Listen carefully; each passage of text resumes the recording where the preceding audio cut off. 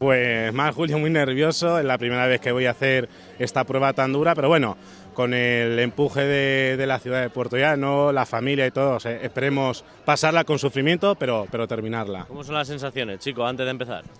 Pues sobre todo lo que te he dicho, eh, muy nervioso y más, eh, hombre, una persona que debuta como yo. Yo creo que todos los corredores tienen nervios antes de empezar una, prueba de este tipo, bien por bajar tiempo y tal. Yo en mi caso que quiero terminarla ni más ni menos, pero muy nervioso. Los nervios, espero que no me jueguen una mala pasada en la carrera.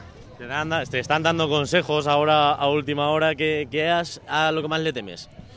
Pues a la cabeza, le temo a la cabeza. Eh, me dicen así los corredores más expertos que, me olvide de los que van a mi lado, de los que van mucho más deprisa que yo, que trate de coger un ritmo en el que yo pueda ir cómodo y tratar de terminarla, pero sobre todo mucha fortaleza mental. ¿Cómo te encuentras antes de empezar? Pues regular, regular de momento.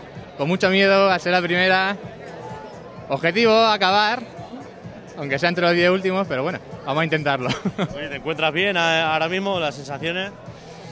Miedo, miedo. miedo.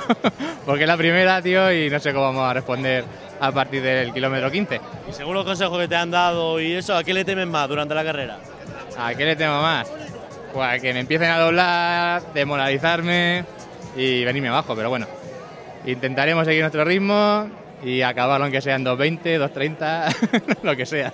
Hombre, por el momento yo creo que ya estoy hasta cansado, ¿no? Pero bueno, la verdad que vamos a empezar, vamos a disfrutar de esto. La verdad que el ambiente es alucinante, nunca había la gente que se dedica a esto y que corre y la verdad que muy bien, la verdad que por lo menos el ambiente me está gustando. ¿Y ¿cuáles son las sensaciones antes de empezar?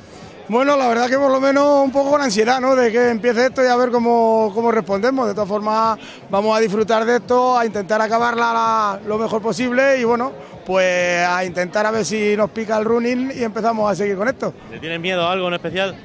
A la tercera vuelta, yo creo, ¿no? A la tercera vuelta, ya cuando empiecen las piernas y tal, sobre todo todo el mundo dice que es un poco pesada la tercera vuelta. Y bueno, pues esperemos que con la gente que haya por la calle y eso, pues vaya animando y esperemos acabarla bien.